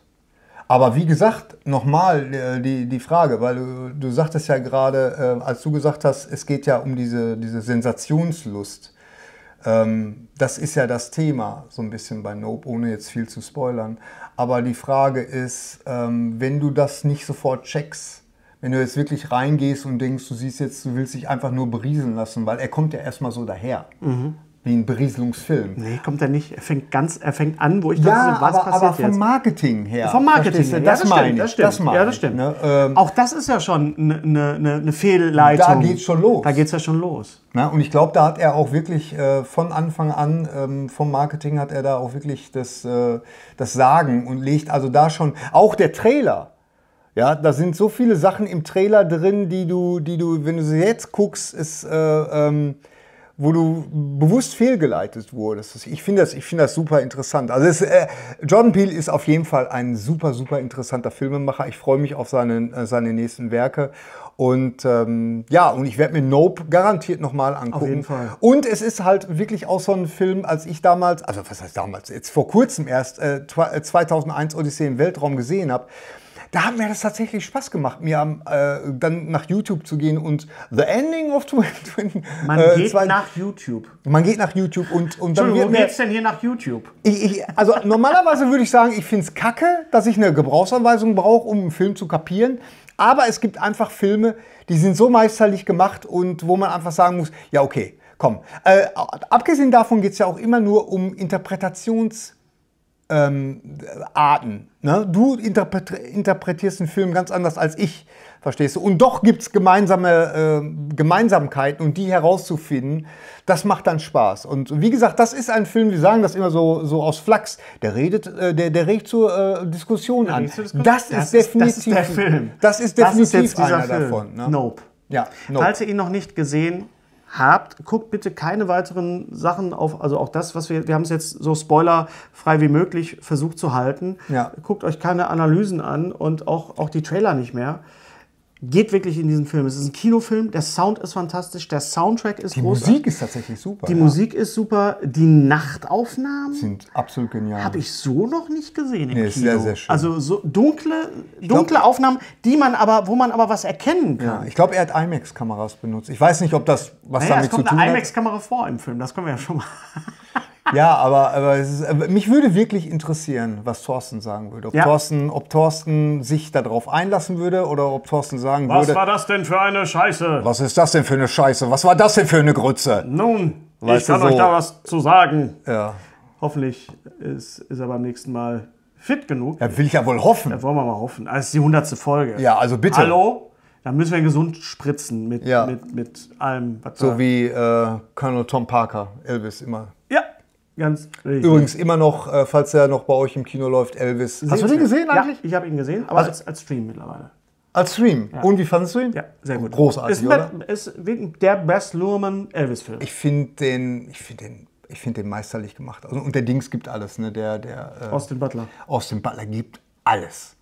Herr Butler, wir reden beim nächsten Mal über in unserer 100. Episode äh, von Streter Benner Streberg. Es ist bald soweit. Unfassbar. 100 Folgen. Ja, 100 wir- machen das jetzt über acht Jahre. Danke an alle, die uns äh, gucken. Danke an alle, äh, die uns abonniert haben und die uns, Uns unterstützen. unterstützen über Patreon. Und, Geduld alle, haben und mit Geduld haben mit uns. Uns teilen. Ja, das ist ja auch immer noch ganz wichtig in den sozialen Netzwerken, die ja, Genau. äh, ja nicht wichtiger werden, sondern die sich ja auch dauernd irgendwie verändern. Äh, wir reden beim nächsten Mal ähm, auch über Cat, äh, nee, nicht über Catwoman, über Batgirl und über The Flash und was da Warner Brothers, was ist denn da los? Warner Brothers, was ist da los? Darüber werden wir reden. Auch natürlich mit Thorsten, weil er ja auch als Batman-Fachmann prädestiniert ist dafür.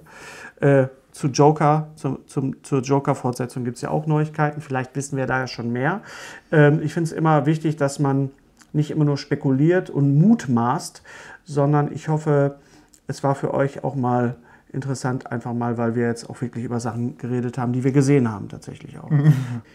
Ganz genau. Und Ja, damit in danke an Sinne. euch. Nee, nicht, na, warum machst du In, das? in dem Sinne Nein, wünschen wir dem Thorsten. nicht- warum, warum darf ich das eigentlich nicht sagen? in dem Sinne, sondern in, In diesem Sinne. So. Warum darf ich das nicht sagen? Weil warum es eine so Floskel ist. Ja, es ist Kacke scheißegal. Nein, In diesem Sinne wünschen wir dem Thorsten eine gute Besserung. Werd ganz schnell wieder gesund. Genau. Lieber Thorsten. Und, äh, Wir haben dich gesaved. und äh, ja, was, ich bin, ich habe keine Ahnung, was wir zum 100. machen. Wir lassen es erst einmal bleibt spannend. Es bleibt spannend. Vielleicht wird die 100. Episode von Jordan Peele gedreht werden. Das kann ja sein. Das kann alles sein. Ganz genau. Vielleicht machen wir die auch mit dem Handy. Vielleicht gehen wir auch einfach nur durch den Wald spazieren. Oder. Oh, meinst du so Ahnung. eine Blair Witch? Ja. Uh, Geschichte. Genau. Wir werden sehen. Auf jeden Fall freuen wir uns auf die 100. Episode. Ja. Wir freuen uns auf euch. Danke, dass es euch gibt und dass ihr uns seht. Peace! Und das Schlusswort ist natürlich nicht Peace, sondern auch da wieder nach 99 Folgen muss ich Gary Strebech immer wieder dran Aber erinnern. nach, da, nach der 100. darf ich das mal nicht machen, ne? Oder Nein, ich das ist dein, dein Signature-Move. Das ist Muss ich tut immer mir- machen? Das wirst du den Rest deines Lebens machen. Das wird Okay. auch wahrscheinlich auf deinem Grabstein stehen. Hier liegt Gerrit Strebeck. Alles Gute, auch beruflich. Okay. Alles Gute, auch beruflich. Peace! Boah, ich schwitze. Lutsch mich rund und nenn mich Bärbel, der Podcast. Mit Ständer, Breiter und Rehbein. Be- Berg, Stre... Äh, mit Sträter, Bender und Streberg.